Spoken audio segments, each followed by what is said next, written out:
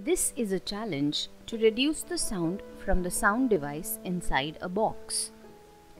Challenge Design and create a soundproof box that reduces the volume of a sound making device. Testable goal The sound of the sound making device inside the box is reduced to 30 decibels or less. Sounds are part of our environment. There are many sounds we want to hear, such as your favorite song or a friend's voice. There are some sounds we need to hear, for example, an ambulance or an alarm clock.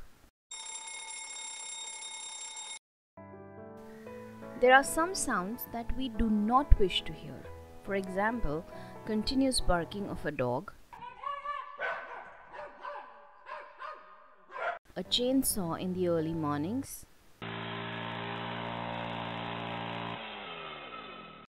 These do not have a volume knob, but you can control how sounds behave in your surroundings. We all know that sounds travels through air, liquid and also solid.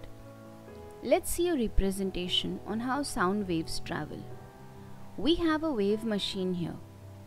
When a sound is emitted, which we show here by tapping on the machine, the sound waves travel ahead. Sound travels in a medium with the help of vibrations of particles in the medium. These vibrations, while traveling, create a periodic disturbance in the medium. This disturbance travels in the form of waves, which is demonstrated here.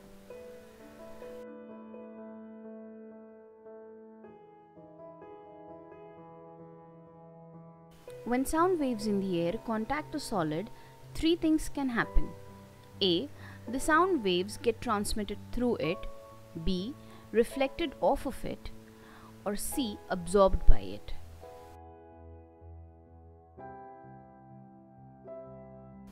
A similar example can be seen by using a slinky. A twang, a sound emission, results in the disturbance and creation of sound waves.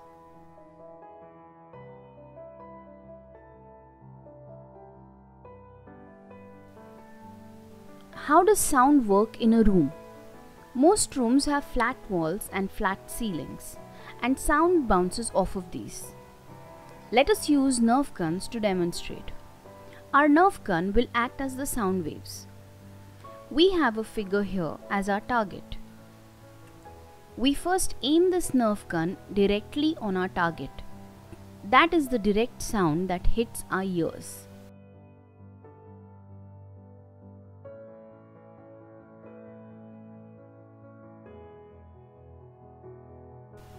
Now let's try and bounce the Nerf bullet off the wall onto the target. That is the indirect sound that is bouncing off the walls. Normally, we have 6 walls in a room that will bounce the sound onto us. So some smooth surfaces reflect the sound.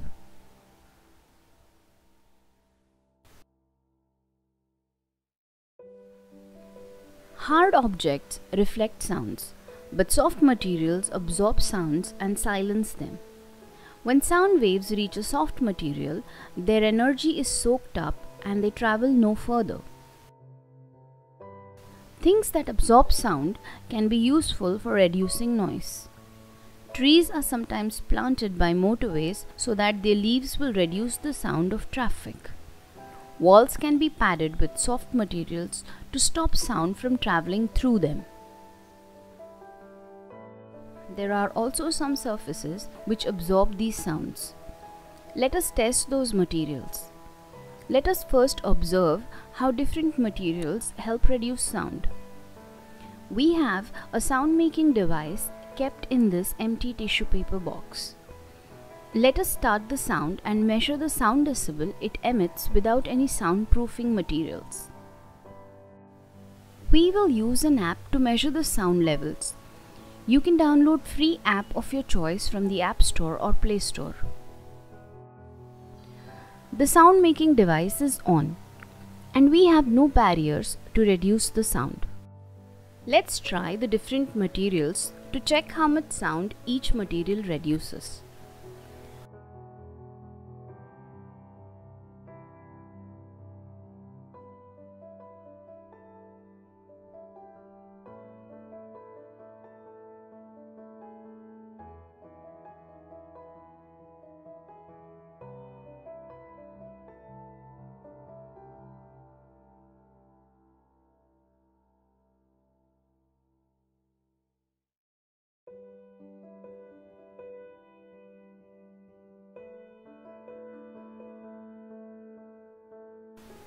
You will notice that the materials that absorb sound more are soft, while the materials that do not absorb sound, that is, they bounce the sound, are less soft.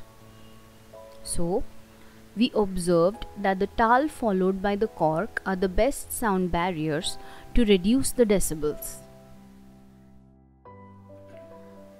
Multiple layers of these soft materials will help us reduce sound and achieve our soundproofing successfully. We will use multiple layers of the following materials cork, cotton balls, foam sheets, felt, some thick towels too. We will now wrap some of these materials around our box and see if we can drop the sound decibels to 30 or below. Measure the dimensions, width, height and length of the tissue box. Cut the first layer of cork board slightly more than the tissue box.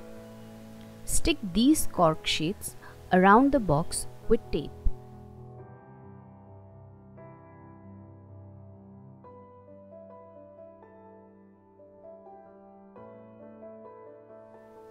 Let us now use the decibel meter app or device to measure the sound decibels.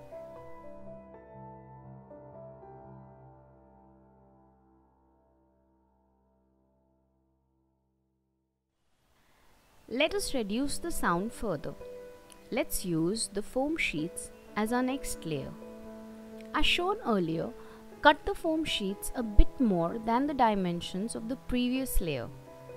Wrap this around the first layer and stick with the tape.